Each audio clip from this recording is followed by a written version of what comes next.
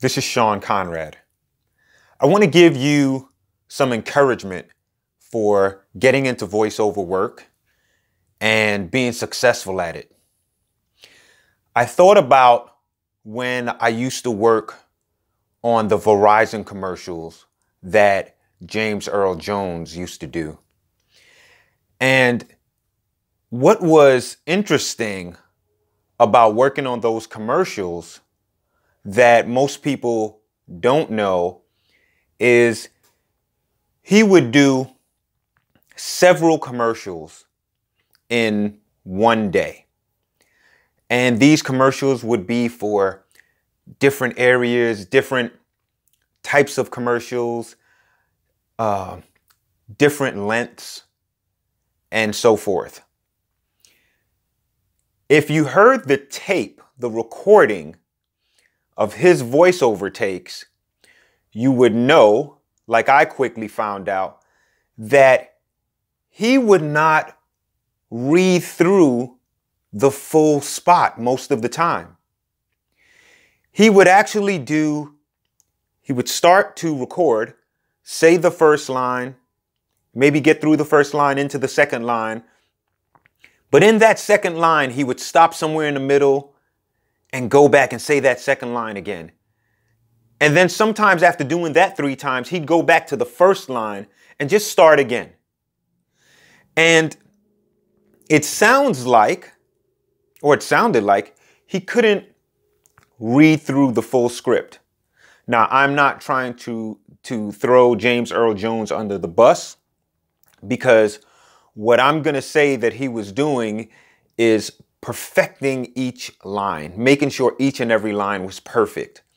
So, all the way down the script, he would go back and start the line over again and say them differently with different inflection, with a, a different twist on the ending, a different smile or seriousness in the beginning. But he would do, I, I had to deal with sometimes 15 to 20 takes per line, per sentence of the script, and pieced these Verizon commercials together, these radio commercials together. And they were for television too, because we'd use his voice for what was happening on screen because he was the announcer, so it was fine. He wasn't actually on screen in a lot of these commercials that I was working on. But I really had to go through upwards of 50 takes, 70 takes, 100 takes. And mind you, this was for several commercials, but it was upwards of 70 to 100 takes to piece together all of these takes to make one commercial, one 15 second commercial, one uh, 30 second commercial, one 45 second commercial, or 60 second commercial. So I'm letting you know that so you know that even at the highest level, with great actors and people who have accomplished so much, like James Earl Jones, that doing voiceovers is not this perfect one take science. It can be for people who read really well and for directors or producers who are not that picky, who are just like, hey, sounds pretty good. Let's move on to the next thing.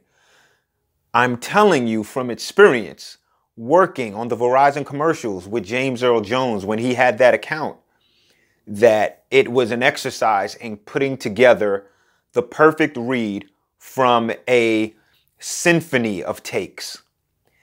So, if you don't read well or read perfectly, if you can't read through a script, don't be discouraged. Because if you have the voice, if you have that talent, if you work hard, you can still be successful at doing voiceover work. Don't forget to subscribe, click the like button, and don't forget to click the notification bell.